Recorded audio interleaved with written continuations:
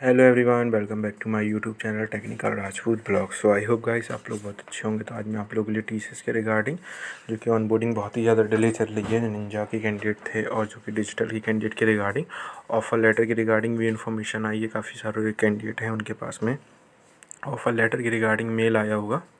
उनको document update करने होंगे। तो वहाँ पर मैंशन है।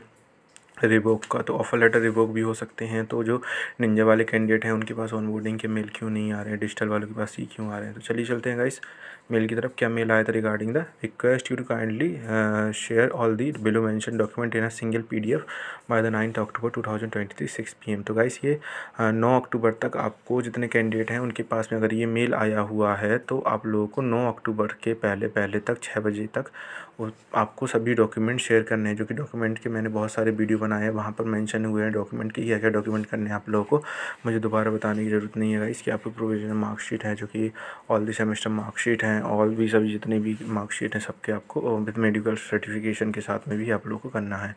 तो upload all the and submit the sense with next step portal if we do not receive complete of a document from your before the deadline provided in the mail we will not take your candidate further and we will got I revoke your offer with T C S तो guys अगर आप लोग submit नहीं करते हैं given date the deadline आप लोगों के ऑफ़र लेटर हैं जो कि रिवोक कर दिए जाएँगे। तो guys be prepare your self complete all the formalities of the documentation and updated all the document in a P D F format and uploaded before the ninth October six P M नहीं तो guys आप लोगों का offer letter revoke हो जाएगा। बात करते हैं, ये जो आई एल पी शेड्यूल हुआ था, कुछ लोग कैंडिडेट थे उनके पास में रिसेंटली में, जो कि ग्यारह बज के बीस मिनट पर जो कि पाँच तारीख को, जो कि हमारे कल की डेट में कुछ लोग कैंडिडेट के आई एल पी शेड्यूल हुए हैं, जो कि कैंडिडेट थे डिजिटल के।